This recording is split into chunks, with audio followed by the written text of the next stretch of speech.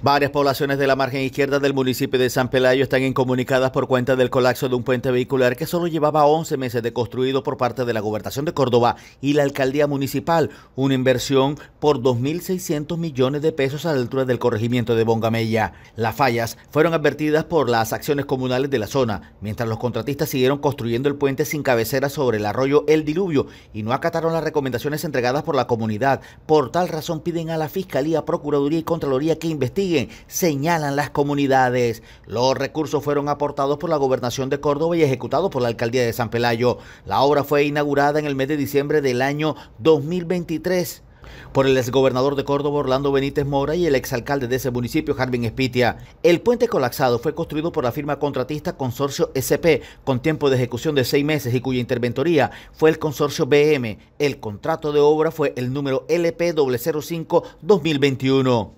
Las poblaciones afectadas, las cuales quedaron incomunicadas son Bongamella, Santa Rosa, San Miguel, El Dividivi San Francisco, entre otras. Por el puente afectado pasan motos, vehículos y camiones que transportan ganado provenientes de varias fincas de la región. La gobernación tomó cartas en el asunto y junto con la actual administración municipal de San Pelayo se coordinó una inspección ocular en el sitio.